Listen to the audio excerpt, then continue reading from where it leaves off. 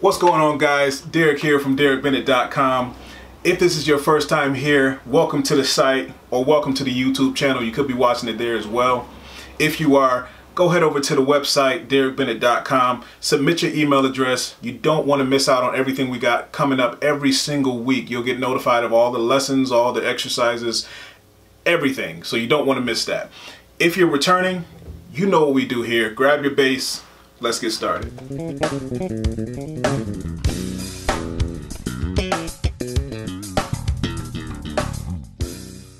Hey guys, just wanted to come to you with a real quick lesson on two octave scales or how to approach two octave scales or even extended scales. You can think about it that way too. In this case, I'll be in the key of A major. Um, there's a lot of different ways you can play uh, two octave scales. There's several different ways you can play that. I'll show you the way I approach that and I the way that I play them. Um, and I'll show you why after I'm finished. So here here's the first part.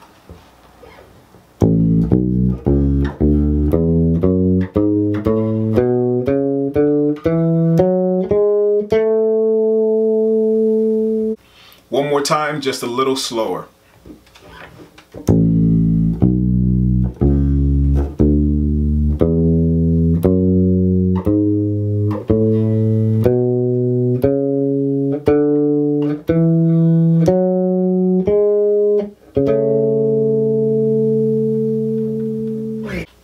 Cool. Not too hard, right? Not too not too crazy.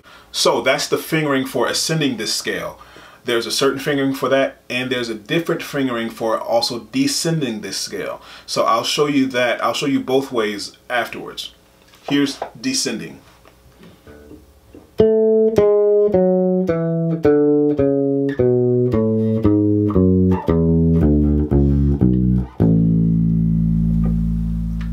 One more time, just a little slower.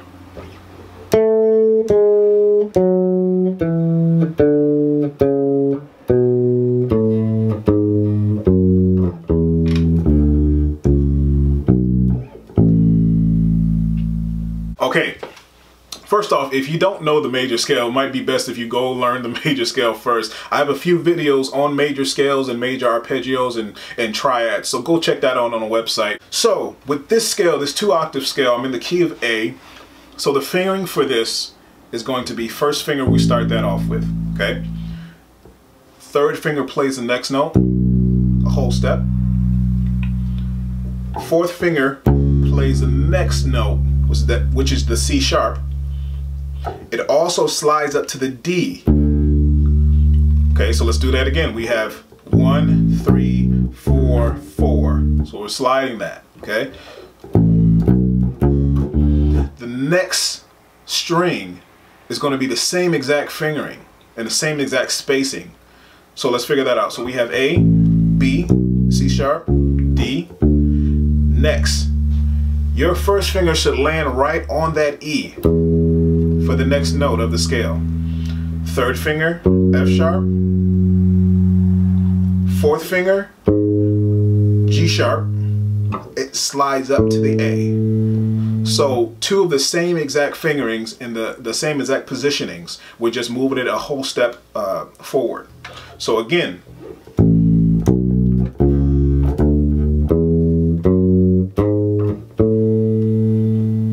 all right, that's one octave of the scale, okay?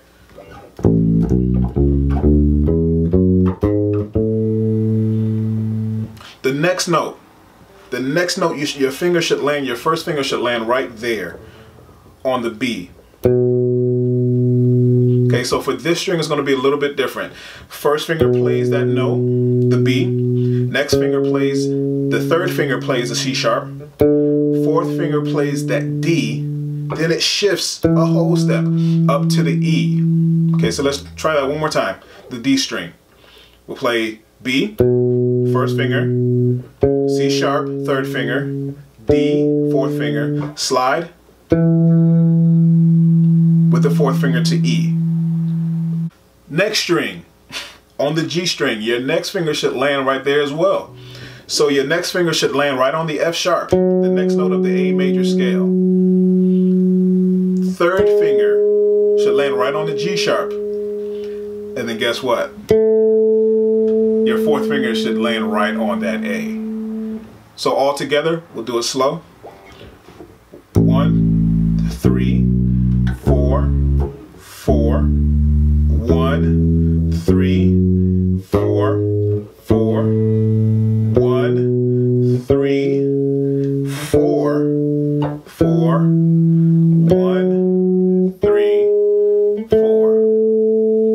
Very simple. You're not even using your second finger for this for this scale. So it kind of glides right along with each other. So it kind of flows right into the next note. So.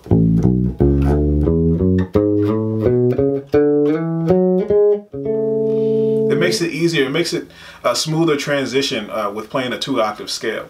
So we got that. Take that part slow, piece by piece, string by string. You can do that as well. Next part, let's descend this scale, okay? So we'll start at the top uh, with the A, with the high A. So the way we come down, we descend the scale. We play four, three, one, four, two, one. Now we slide with the first finger down to the B. So let's do let's do that much. So we have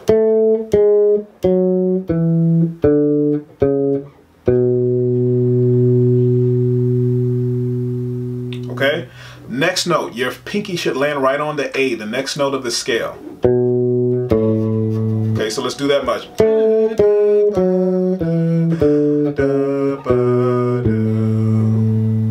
Next note, three.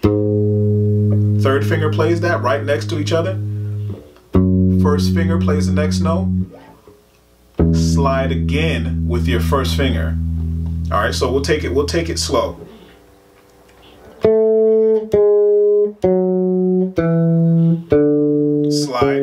First, fourth, three, one. Slide with the first. Guess what? Four, three, one. Guess what we're going to do at the end? Slide with the first finger.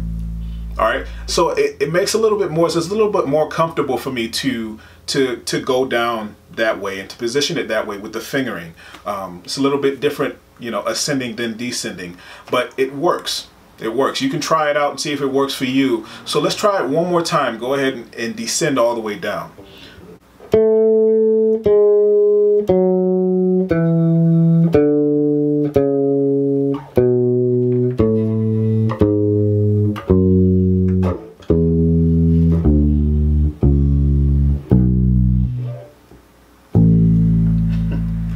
You have a slide or a shift with your first finger when you descend.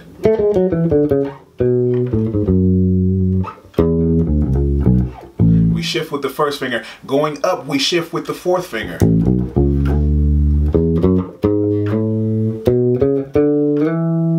All right, so pretty simple. So when you play the scale, when you ascend, you're gonna shift with your fourth finger. When you descend, you're gonna shift back with your first finger, okay? So pretty simple. All right, one more time all together.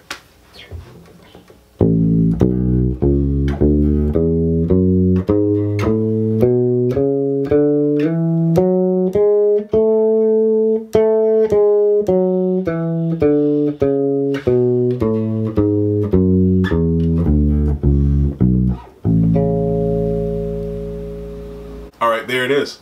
So guys, as I always say, take this slow, take each section slow, section it off if you have to, and play each line or each string separately, loop that if you have to. Uh, make this thing transition very smoothly so it doesn't seem like you're sliding or shifting um, when you're playing the scale, okay? Make sure the notes are clean, make sure the notes come out, make sure each note has its own value, very important. Until next time, I'll see you later.